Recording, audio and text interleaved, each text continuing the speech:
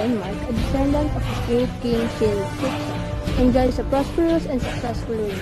He built a great mid hall called Heorot, where his warriors can gather to drink, receive gifts from their lord, and listen to the stories sung by the Scots or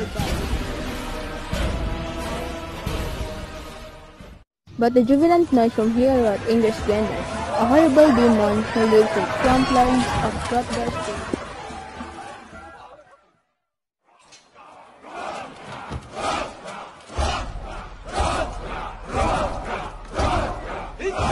demon dragon, whether the men would breathe, and then my lord his sword and brought it to its bay.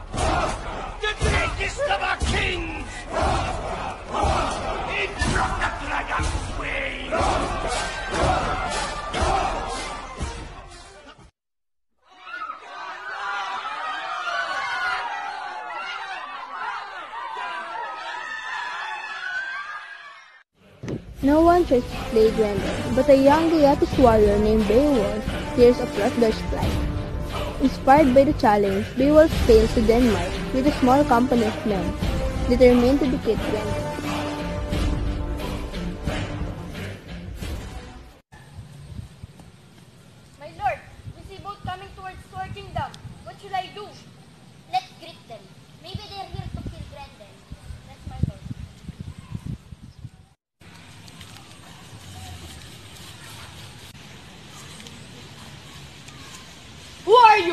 Are you doing to our kingdom? I am Beowulf, son of Ecgtheow. I'm here to kill the demon. Warrior, get down your sword. So you're Beowulf, the son of Ecgtheow. Yes. And you're here to kill Grendel, right? Yes, my lord. During the feast for the Geats, an envious Dane named Unferth taunts Beowulf and accuses him of being unworthy of his reputation.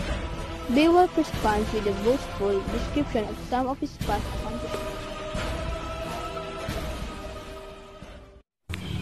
So, you are all Geats. Yes, my lord. You travel across the ocean just for a treasure? No, sire. We travel here not for the treasure, but for the glory and my father's life.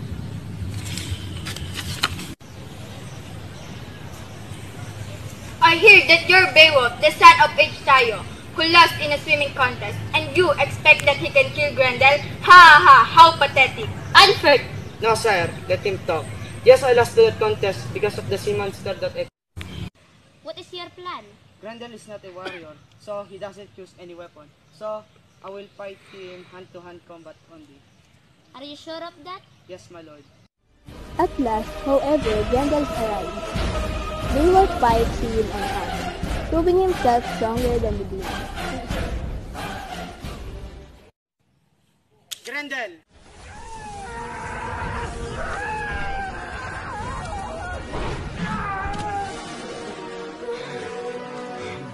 Grendel struggles to escape, Beowulf tears the monster's eyes. Master! What happened to you? Who did this to? Beowulf! Overjoyed, Hrothgar showers Beowulf with gifts and treasure at a feast in his honor. Songs are sung in praise of Beowulf, and the celebration lasts late into the night. Sorry, Beowulf, for doubting you. We're sorry. Here, my sword. Take it. It's from our ancestor. Please take care of it. But another threat is approaching. Grendel's mother, a swamp hog who lives in a desolate place, comes to Heorot seeking revenge for her son's death. She murders Aeschere, one of Hrothgar's most trusted advisors, proving Slinky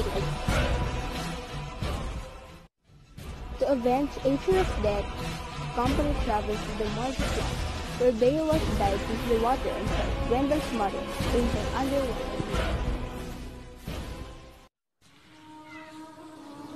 Sharson! You must be Beowulf. Who killed my son? Show yourself, demon! You killed my son. So, now give me another child. Come here, Beowulf.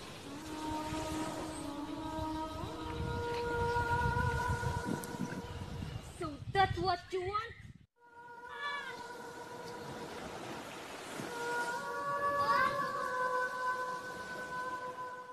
Then, finding Grendel's corpse, decapitates it and brings the head as a prize to Hrothgar.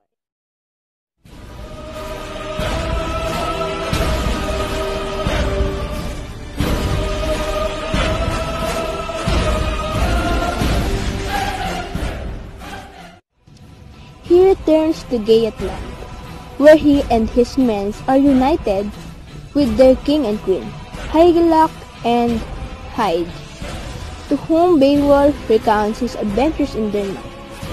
Beowulf then hands over most of his treasure to Hygelac, who, in return, rewards him.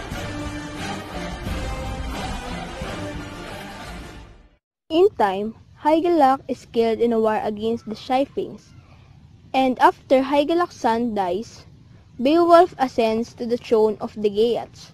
He rules wisely for 50 years, bringing prosperity to Geatland. However, a thief disturbs a burrow or mound where a Geat dragon lies